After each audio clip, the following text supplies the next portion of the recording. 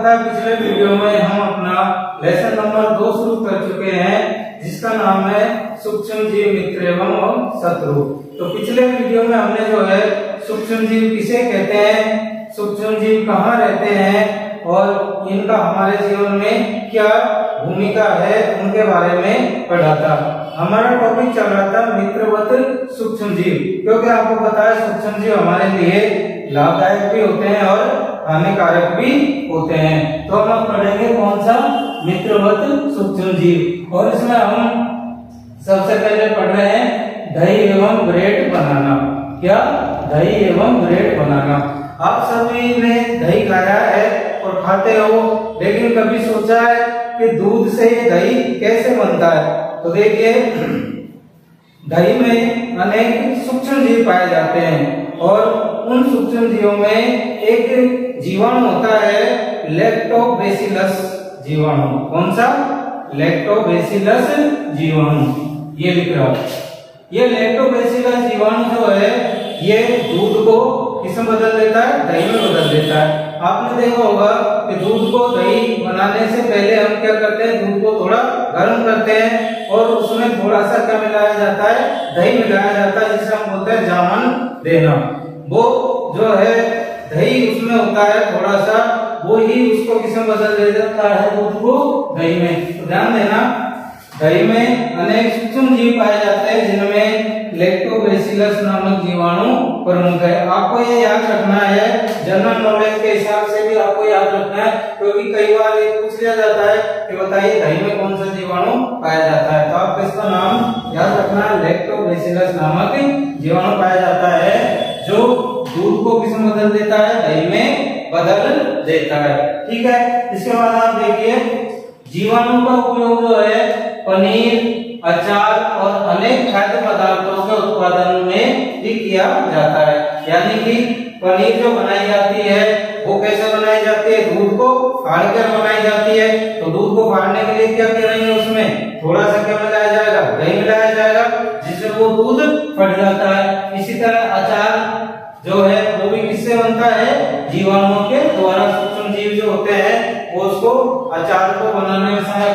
अनेक खाद्य पदार्थ, जैसे कि ब्रेड केक वगैरह जो है, उनको भी बनाने में इसका उपयोग किया जाता है।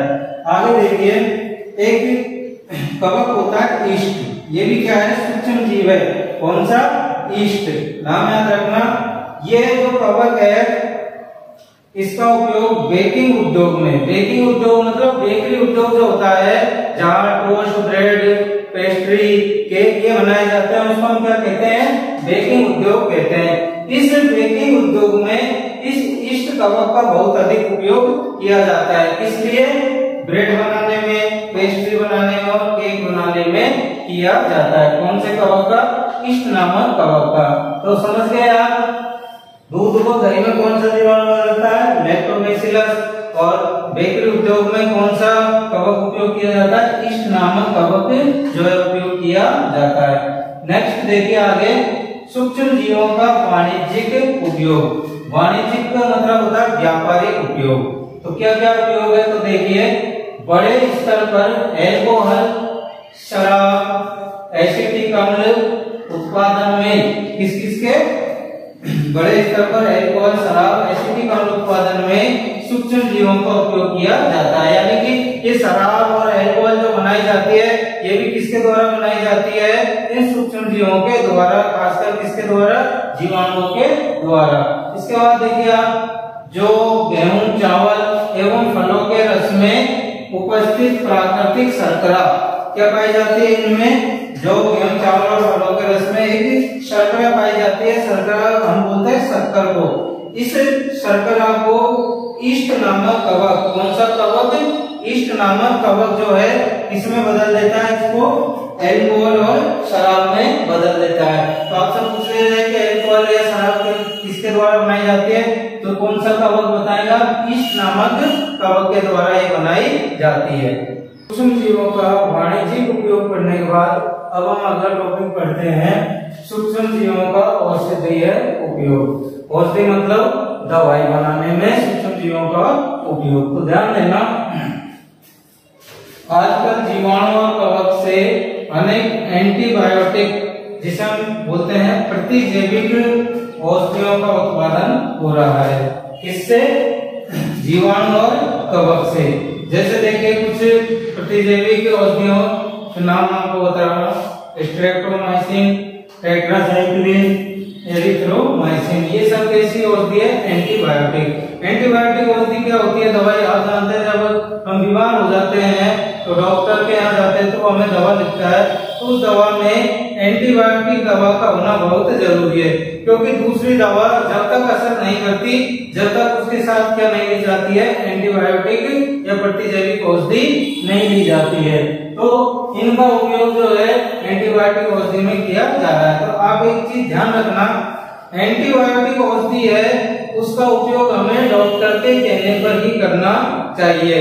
ऐसा नहीं है कि हम अपनी इच्छा से कभी भी एंटीबायोटिक औषधि ले ले। और अगर हम ऐसा करेंगे और जब हम बीमार हो जाएँगे, अगर उस समय एंटीबायोटिक औषधि लेंगे तो वो उतनी प्रभावशाली नहीं होगी। तो कभी भी अपनी मर्ज़ी से एंटीबायोटिक दवा नहीं लेनी चाहिए। क्योंकि ये जो है उस समय ही प्रभावी होती है जब हमारे शरीर में रोग होता है। तो इसको आप विशेष ध्यान रखें। इसके बाद आप ध्यान रखना, सन उन्नीस में एक वैज्ञानिक है, एलेक्जेंडर फ्लेमिंग।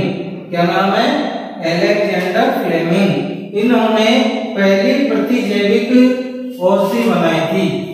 और उस औषधि का नाम क्या है? पेनिसिलिन। इन्होंने एक कवक है, पेनिसिलिन नोटेटम नामक कवक, उससे यह औषधि बनाई थी। तो पूछ लिया जाता है कि सबसे पहले एंटीबायोटिक या प्रतिजैविक औषधि कौन सी बनाई गई थी? उसका नाम क्या है? तो उसका नाम है पेनिसिलिन। और किसने बनाई थी?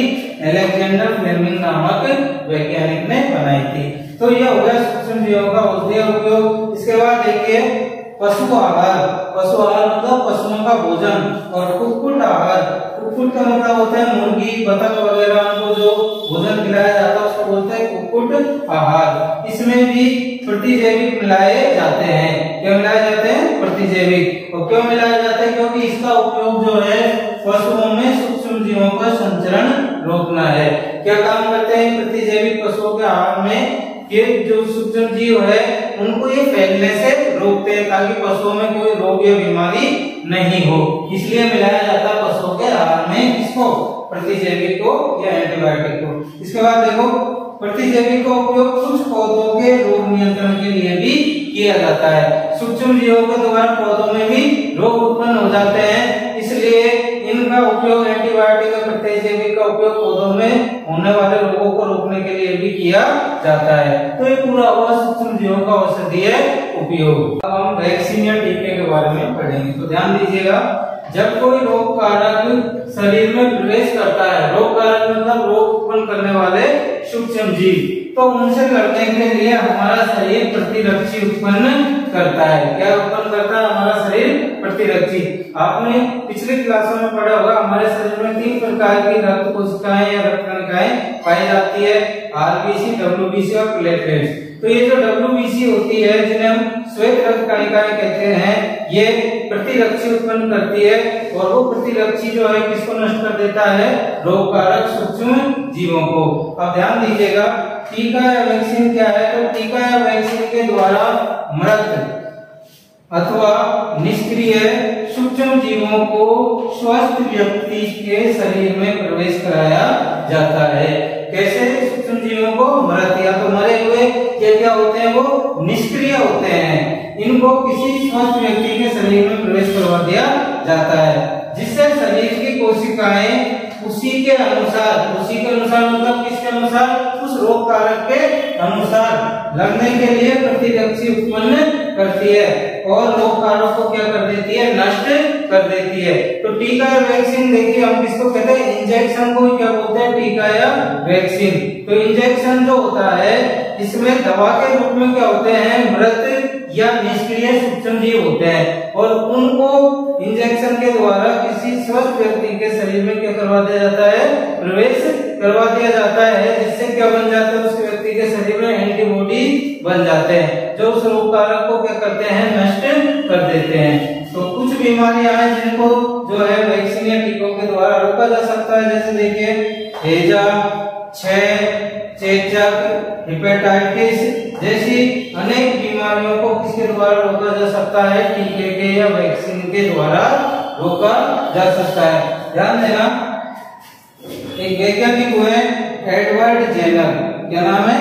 Edward Jenner. इन्होंने जो है सन सत्रह सौ अट्ठानवे में चेचक के टीके की खोज की थी। चेचक क्या जानते हो आप जिसे हम अपनी भाषा में बोलते हैं? छोटी माता। पहले ये जो है बहुत अधिक होती थी और इसका जो टीका बनाया सबसे पहले, वो किसने बताया? बनाया था एडवर्ड जेनर ने। तो आपसे पूछ लिया जाए कि चेचक के टीके का आविष्कार या खोज किसने किया? तो एडवर्ड जेनर ने जो है, इसका चेचक के टीके का आविष्कार या खोज की थी। इसी के साथ आज का ये वीडियो हम यही समाप्त करते हैं। अगर आपको ये वीडियो पसंद आया हो तो इसे लाइक करें शेयर करें सब्सक्राइब करें और कमेंट बॉक्स में आकर कमेंट करें। धन्यवाद।